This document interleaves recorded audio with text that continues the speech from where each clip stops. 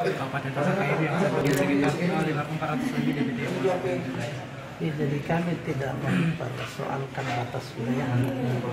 Yang kita bertegas tadi bagaimana warga ini hak itu bisa terakomodir apakah di Sulawesi Barat atau di Sulawesi Tengah.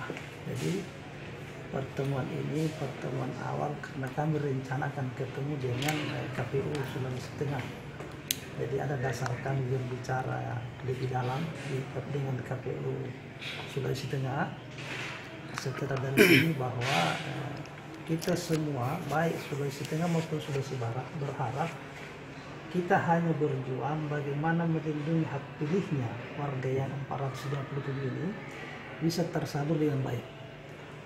Itu jadi nanti secara liu sekarang KTP-nya itu kan masih Barat ya, di Pasangkai itu kita. Nah, cuma eh, berdasarkan Permendagri nomor 60 dari 18 itu tentang batasnya itu ada tiga dusun yang dianggap menyeberang.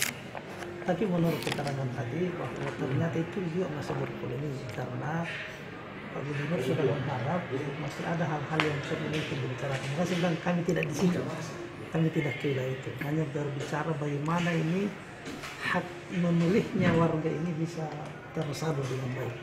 Kami saya sampaikan bahwa geografisnya itu itu masih jauh. Jadi Pak Asisten menyampaikan silahkan KPU lakukan sesuai dulu data yang selama ini berdasarkan kode wilayah. Jadi pembangunan TPS apa itu kan berdasarkan kode kecamatan, kode wilayah. Tetap saja dulu itu selama belum ada kode wilayah baru. Jadi selama belum ada kode wilayah baru, KPU silahkan ketes dulu berdasarkan itu.